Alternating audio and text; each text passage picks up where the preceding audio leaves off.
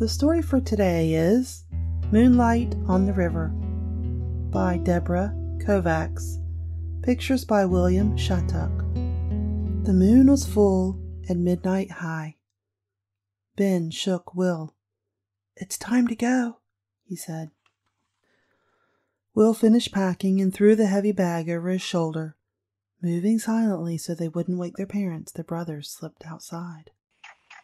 The night was filled with deep green smells and animal sounds. The air was as warm as a bath. There the sailboat waited. It tugged at its moorings, riding the rising tide.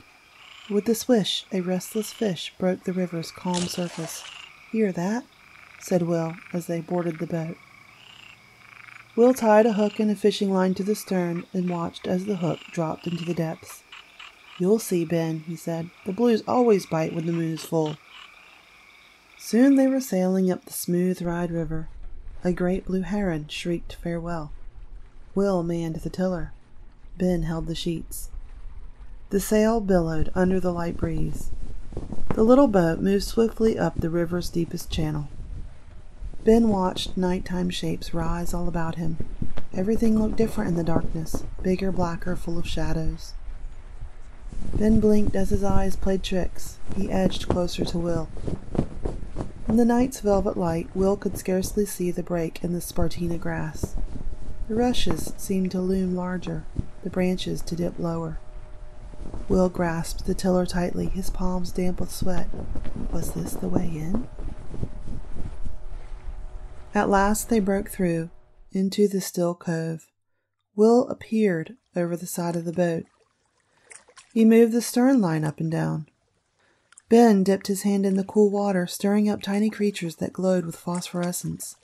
The fish are here just like you said, whispered Ben. In the cove, the bluefish swam in a tight circle, their fins and tails lit by moon glow and fireflies. Will kept moving the line. For a long, still hour, nothing bit. Will looked up at the moon, now a tiny circle high in the sky.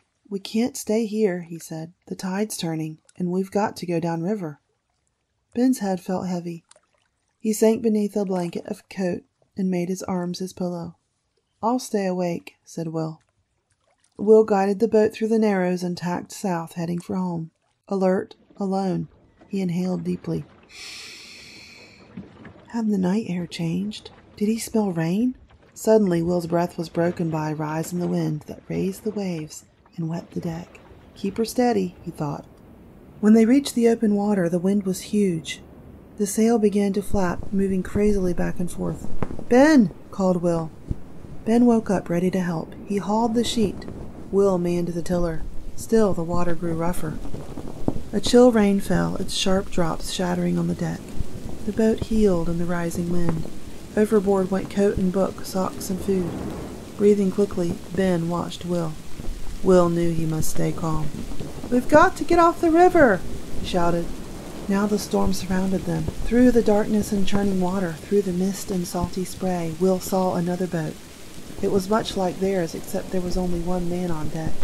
He stood tall and steady, his arm pointing to starboard. Was he guiding them to an inlet? Let's head to starboard, called Will. In minutes, a safe code sheltered them. Ben dropped the anchor. Will tied the stern line to a tree. They huddled beneath the tarp, waiting for the storm to pass. Keep a lookout for that other boat, Will told Ben, but all they could see was rain and lightning, and all they could hear was thunder and the roar of the wind. Just before dawn, the waves rested at last. As Ben hauled the anchor, Will went ashore to untie the stern line. We've got to remember this spot, he thought. He wished he had a penknife to mark the big old beech tree, but there was no need, for someone had been there before them. The boys sailed home in a steady breeze.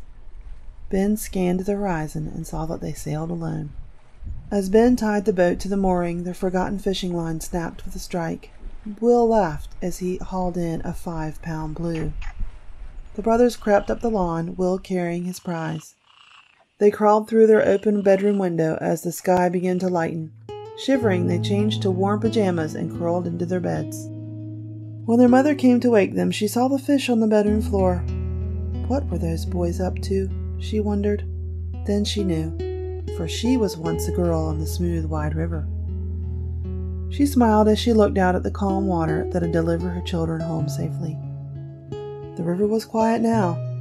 It stretched beneath the daylight, sparkling with the memory of journeys past and the possibility of adventures yet to come. The end.